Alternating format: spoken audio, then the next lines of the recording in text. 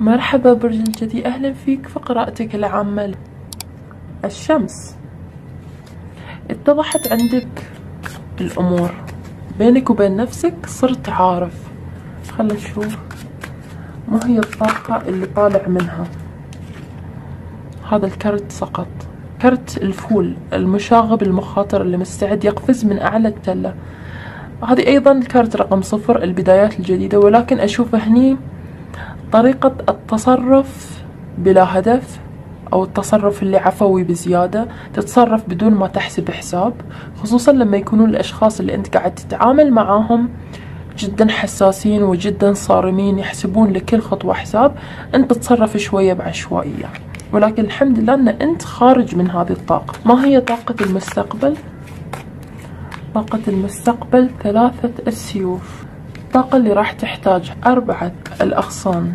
هني انكشفت لك أمور نعم يا برج الجدي ولكن محتاج مش دائما نقول النية مش دائما تكون مقام العمل. عند الله هي في مقام العمل ولكن عند البشر حسابك معاهم يختلف. كأنما هني أنت نويت أن تسوي شيء نيتك كانت خير ونيتك طيبة في مجال العمل في مشروعك. ولكن أشوف كأنما هني الآخرين سيفسرونها تفسير خاطئ. فكون حذر. لازم أنت تكون واثق وين تضع خطواتك. وكل خطوة شنو السبب وراها وراح تأثر على من؟ عشان أيضا ما حد يقدر يتصيد عليك أي أخطاء. النتيجة. ملك الأكواب. شخص عارف نفسه. واثق طبعا الملك هي طاقة نضوج لما تصل إلى مستوى الملك معناته أنك متأكد وواثق. وأيضا تكشف النوايا بهاي الطاقة. راح تستطيع أنك خلال هذا الشهر تكشف نوايا الأشخاص اللي حولك خصوصا في مجال العمل مجال التجارة. راح أوضح الحين الكارتات عشان تكتمل عندنا القراءة. الشمس. الخماسي الأو... الخماسي الصغير. إما أن ستأتيك أخبار إنزين أشوف هني أوضاعك المالية في تحسن مستمر وإن كان بطيء مش سريع ولكن وجود أربع الخم... الأربع الأغصان هني يقول لك أن هذا التحسن أو النمو يعتمد عليه. أفضل من أن تقوم بخطوات كبيرة ماديا أو حتى في الحياة العملية وبعدين أنت ما تقدر نفسك تتأقلم. لا تنسى عندنا ملك الأكواب طاقة التأقلم. فهذه هي الرسالة لك. نعم خطواتك الصغيرة ولكن الثابتة هي الطريق الصحيح لك خلال هذا الشهر حتى إن كان في الدراسة. إذا ما شفت مثلا معدلك ونتائجك قاعدة ترتفع بشكل سريع هذا ليس مؤشر سلبي بالعكس مؤشر جدا إيجابي ويعتمد عليه. ما هو إلا البداية عزيزي؟ لتحقيق الأساس أو النتيجة اللي تطمح فيها من أجل نفسك. خلنا نوضح كارت المشاغب أو الأحمق. لما أقول أحمق معناته هذا الشخص مستعد أن يقفز من أعلى التلة معناته أشوف أن طاقته شوي سلبية. لما أقول أنه مشاغب أو مخاطر معناته أني أشوف الجانب الإيجابي من الكرت هذا. Temperance بالضبط لازم توازن ما بين القلب والعقل. لازم توازن قراراتك تصرفاتك. هني يقول لك فكر قبل ما تتكلم. فكر قبل ما تتصرف. وإن كانت نيتك طيبة مثل ما قلت لك يا برج الجدي في آخرين كأنما يتصيدون عليك الزلة. أو سيسيئون تفسير تصرفاتك في الفترة القادمة. احتمال هني أشوف أيضا عندك حسد.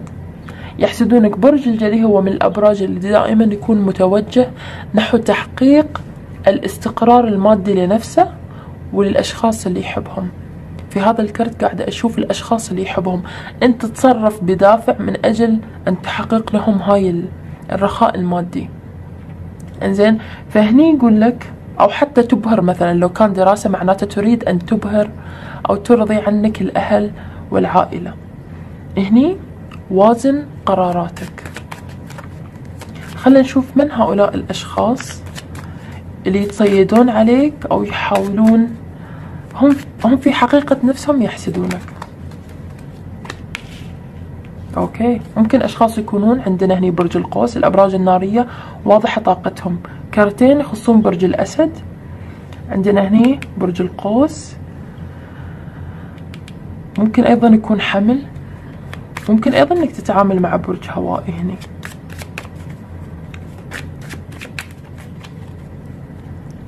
أوكي. خلنا نوضح أربعة الأغصان شفت هذا الشخص شلون قاعد يروض الأك... الأسد؟ أشوفهم هني أشخاص يريدون أن يفرضون سيطرتهم عليك يملكون عليك شيء تكون أنت دائما محتاج لهم بسبب أن مسكوا عليك شيء في محيط العمل يتصرفون أنهم قاعدين يساعدونك ولكن يدخلونك في متاهة يدخلونك في مشكلة عشان هم يطلعونك منها. لو كان مثلا في محيط الدراسة هؤلاء الأشخاص يعطونك الأجوبة أو يوهمونك بأجوبة خاطئة عشان بعدين تريد تحتاج لهم. يدخلونك في نوع من الدوامة يريدونك دائما أن تكون محتاج لهم. إحنا نعرف برج الجدي من الأبراج الأكثر الاستقلالية اللي بالعكس الناس يعتمدون عليهم هم لا يعتمدون على الآخرين. إنزين نوضح أربع الأغصان.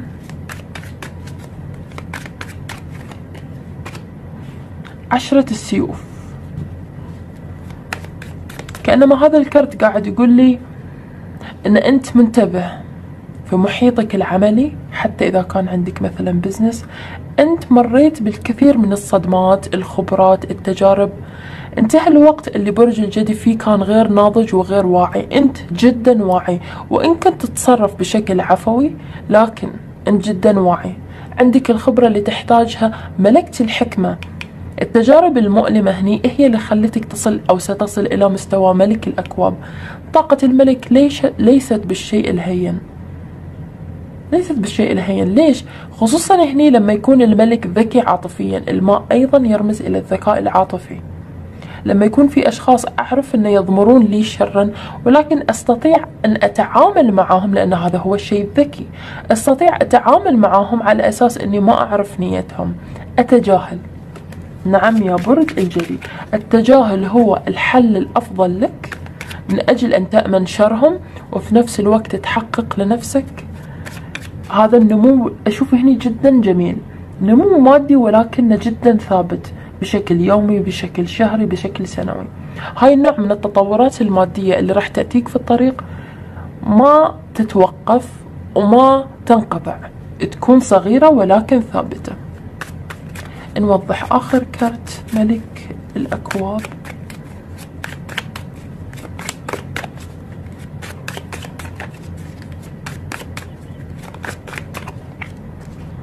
عشرة الأغصان كلها نهايات.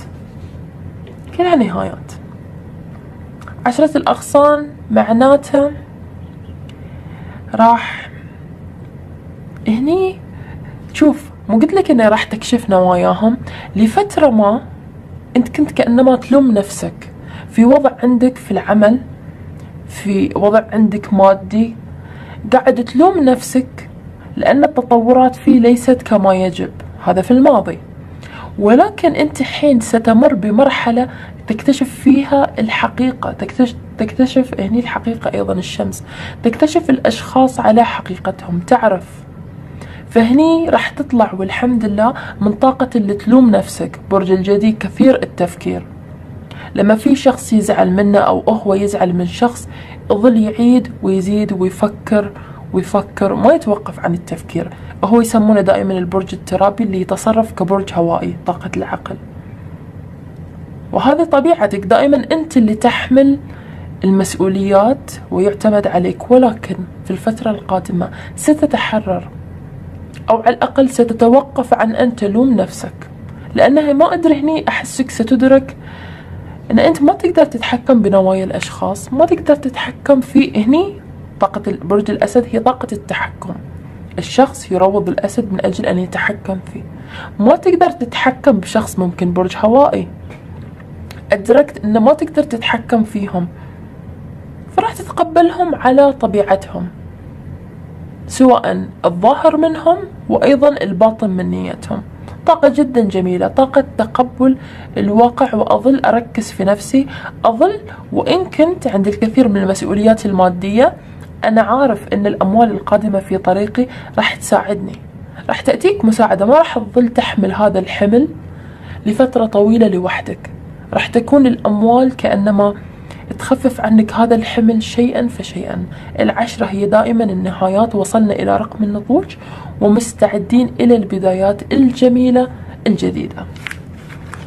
راح ننتقل إلى القراءة العاطفية. طبعا هذه القراءة العاطفية راح تكون عامة مش مخصصة مثلا لمرتبطين أو منفصلين.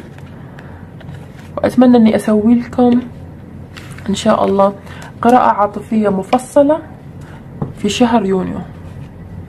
غير عن هذه. أوكي؟ راح ننظر هني بشكل عام إلى وضعك العاطفي يا برج الجدي. هل هو كما بر... آه كما وضعك العملي؟ فيه نمو فيه تطور فيه تقبل وانكشاف لحقائق.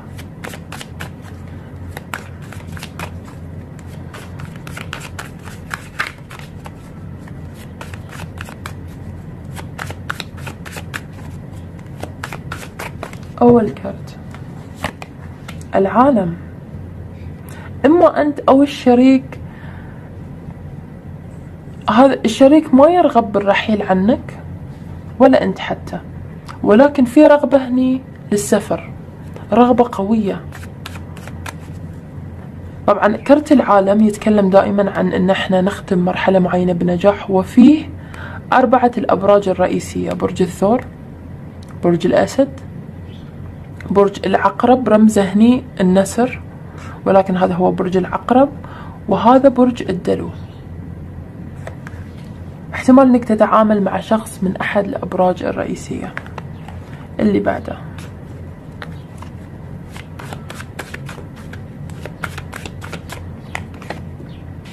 عشرة السيوف. شريكك مش إنه استسلم أو انه متمسك. يحتاج إلى مثل العطلة. عطلة يفكر فيها. عطلة مخطط إنه يبتعد من أجل أن شوي يرتاح أو يكتشف. إنزين. كأنما لأن أشوفه هني هذا الشخص حاول أن يتفاهم معاك يتواصل معاك ولكن ما وصلت إلى نقطة التقاء. وجهات النظر. ثلاثة السيوف مرة أخرى. في مصاعب. في طرف ثالث من جانبك أو من جانبة هو اللي مسبب هذا الألم أو هذا النوع من النهاية. فما بقول لك هني النهاية لأن قلت لك هذا نختم مرحلة معينة. نختم مرحلة الألم وعدم التفاهم. مش معناته أنه ما في طريق لك في المستقبل. مع هذا الشخص. ملك الأرض هذه هي طاقتك. أشوفك هني كأنما عندك شوي نوع من هو لا ثقة ولا أن حتى تمني. عندك إحساس داخلي قوي إذا كان موجود هو صحيح إذا ما كان موجود فانتبه لهذا الإحساس. عندك إحساس أن هذا الشخص مهما ابتعد مهما انفصلتوا مهما هو أنهى الموضوع بسبب مش قادر يتحمل مصاعب العلاقة ولكن سيرجع لك. في شخص دائما مهما ابتعد في رحلته وانتقل إلى بلدان عديدة أنت على باله. مجرد يريد شوي أن يأخذ متنفس خلينا نقول. وراح يرجع لك. وإنت واثق. هني أشوفك تضحك. تعرف إن بينك وبينه في في تواصل غريب عجيب. إنت فاهمه وهو فاهمك حتى لو ما كان في بينكم تواصل حالي. أربع الأغصان.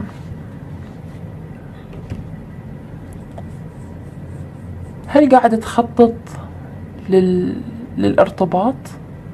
أو تحاول أن تراضي. إذا أنت كنت الرجل فالطاقة لك أن تحاول تراضي الشريك عن طريق أن تفتح موضوع الالتزام الارتباط الزواج نفسه. إذا كنت أنت الجدي المرأة فأشوف هني طاقتك الطاقة تقول لك أن هذا الشخص مهما ابتعد عندك طير.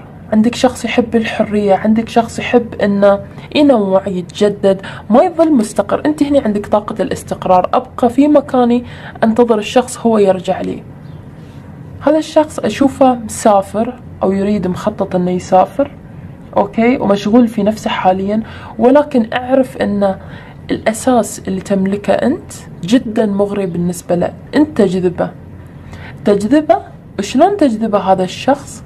عن طريق استقرارك طاقة الدفء طاقة الحنان طاقة اللي أنا راح أظل موجود من أجلك وما راح أصدك يوم من الأيام لأن دائما ملك الأرض هو الشخص المعطاء اللي ما يرفض لنا طلب اللي يعطينا الغالي والرخيص عرفت؟ فعطائك اللامحدود هو اللي راح يكون يخليك مختلف في نظر الشريك. إنزين؟ من أجل انه في النهاية دائما راح يرجع لك كانما هني أشوف الطاقة برج الجدي إيش قلت لك؟ أنت اللي تتحمل العبء عندما يفشل الآخرون في حملة. فهني لما هذا الشخص الغريب العجيب ما حد قدر يتحمله راح يكتشف هذا الشيء بطريقته الخاصة. ما حد يقدر يتحمله غيرك أنت. راح في النهاية يتذكرك تجي على باله ويرجع لك. راح الحين نوضح الكارتات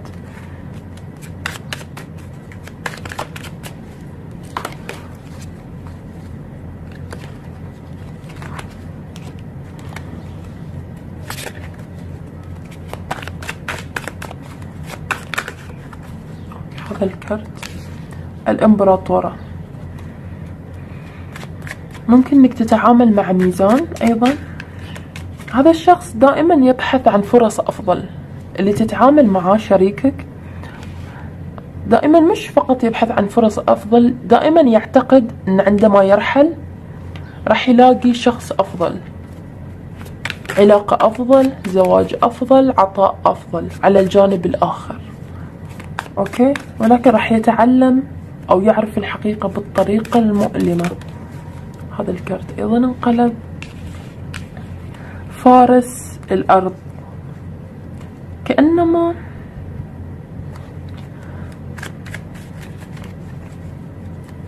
okay. أيضا هاي الطاقة أشوفها تختلف باختلاف الجنس.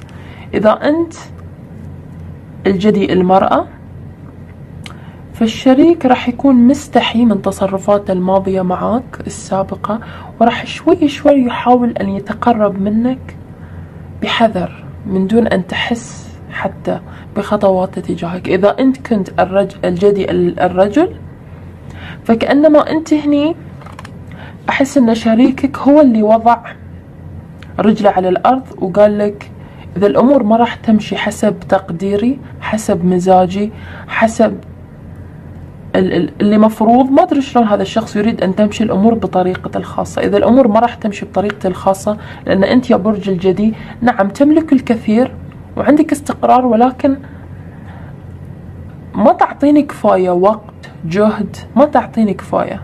إما تصير الأمور حسب مزاجي إما إني هذا الشخص يقول لك راح أبتعد. خلينا نشوف ثلاث السيوف عشرة الأكواب.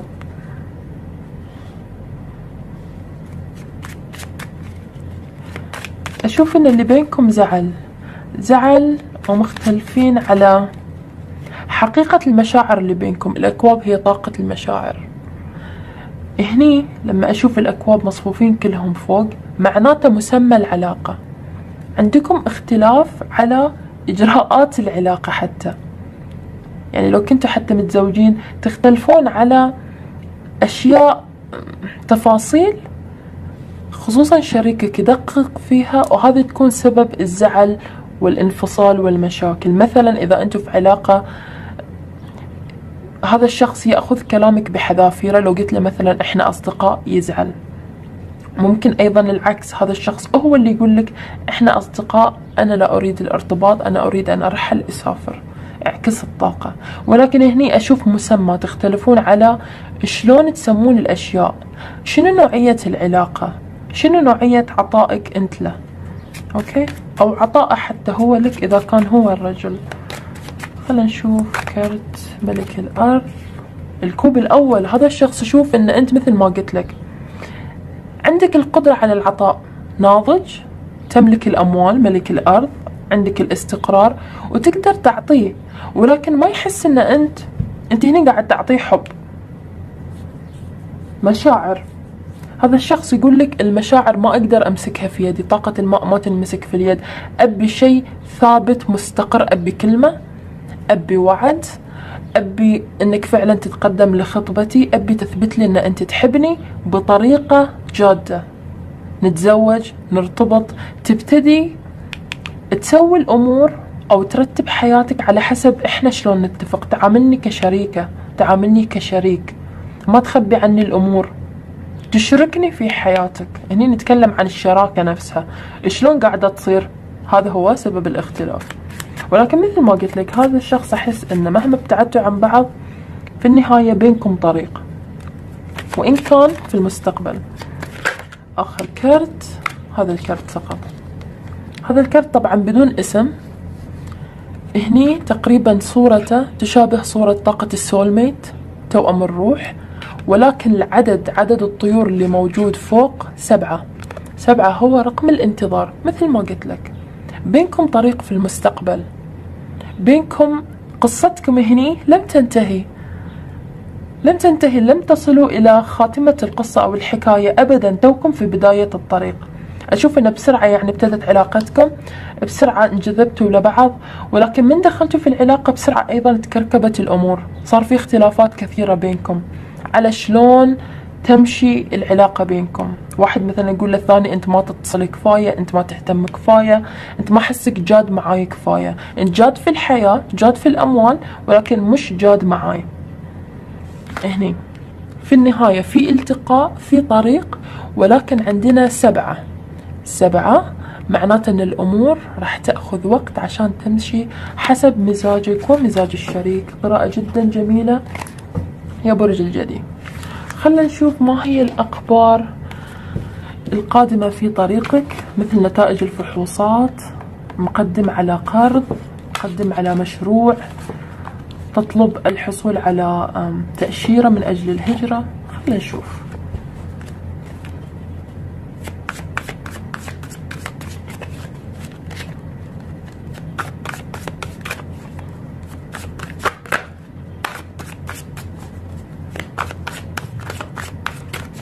أول كرت ملكة السيوف.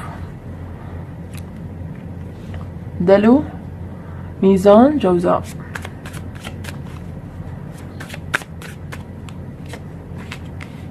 تسعة السيوف.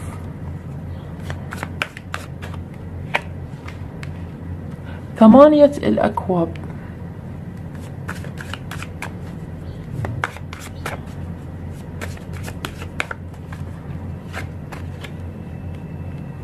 الخماسيين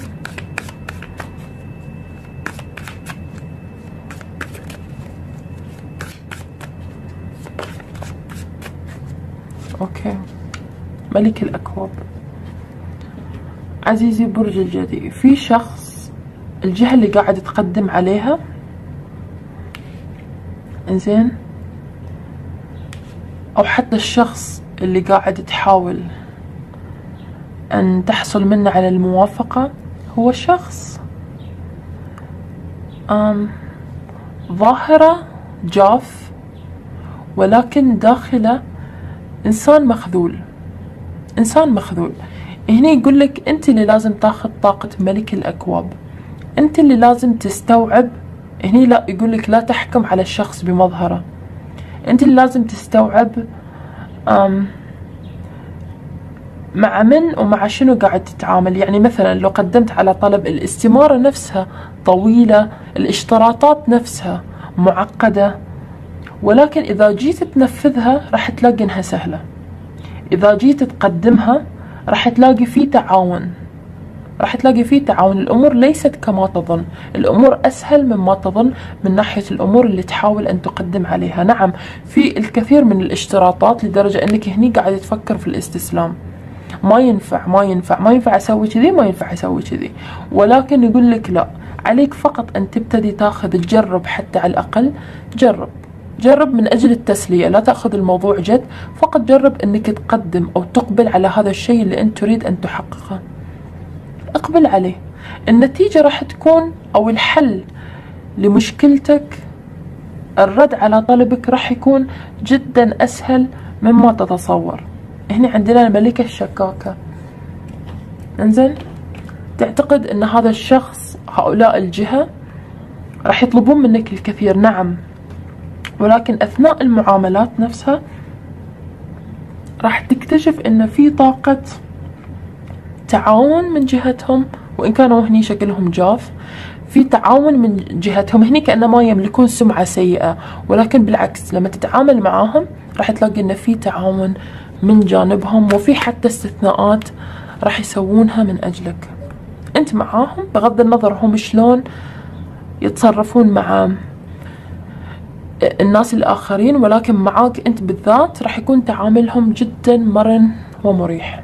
خلينا نشوف ما هي الرسالة التحذيرية لك أو التنبيهية خلال شهر يونيو شهر ستة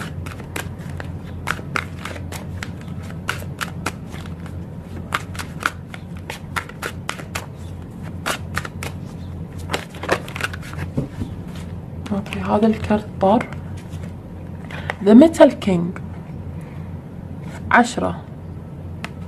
تكررت عندك العشرة وهي النهايات. تختم مرحلة معينة بنجاح. وصلنا إلى نهاية مرحلة سواء كانت صعبة أو جميلة بغض النظر. وصلنا إلى ختام. metal king هو ملك المعادن. هو تقريبا مثل هو خليط من ملكة السيوف وأيضا ملك السيوف ملك المعادن.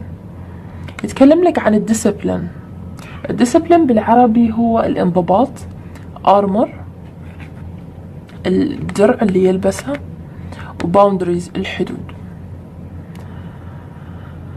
آه أشوف أن هذه رسالة عاطفية لك أكثر من أنها عملية.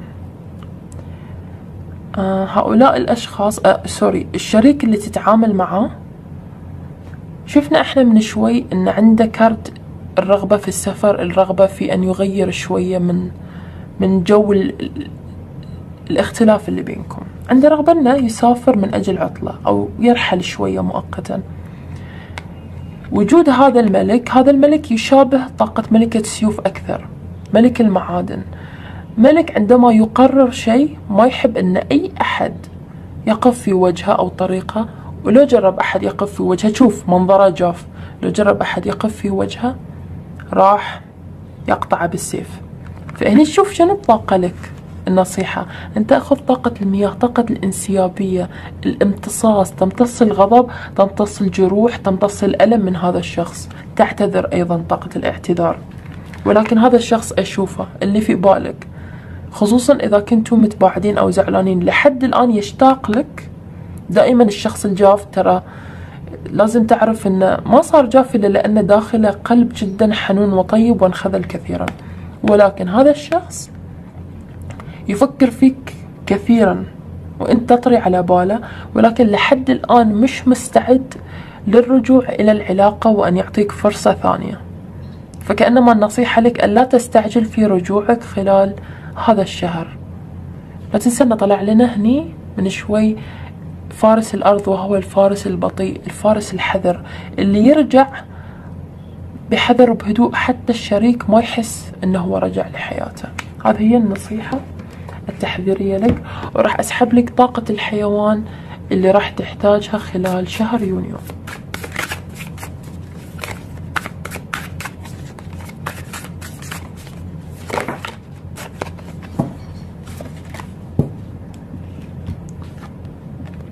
butterfly الكثير من الطاقة الهوائية. butterfly عنصرها الفراشة عنصرها هوائي. مثل ما قلت لك النصيحة اللي تحتاجها الطاقة هي طاقة الانتقال. الفراشة تمر بمراحل كثيرة. مراحل كثيرة. ولكن كل مرحلة ما تطول معاها وايد. كأنما هني يقول لك أنت لازم شوية في الوقت الحالي نعم ما تقترب من الشريك ما تقترب من الأشخاص اللي مستعدين على طول إنه يسحبون السيف عليك. تكون حذر حذر ولكن في نفس الوقت لازم تلهي نفسك لأن إذا ما ألهيت نفسك بأمور ثانية راح تظل تفكر في هذا الشخص. أشوفه جدا ممكن يكون برج هوائي. يعني عندنا الطاقة المائية عقرب حوت سرطان.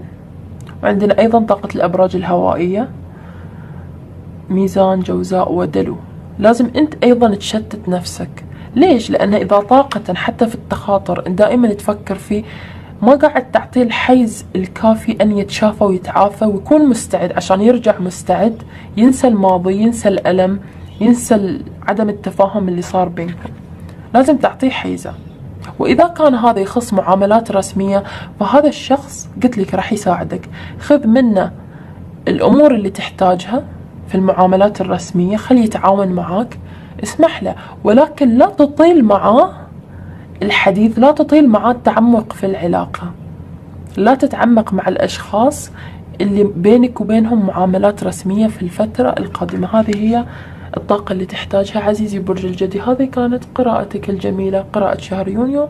أتمنى لك كل التوفيق.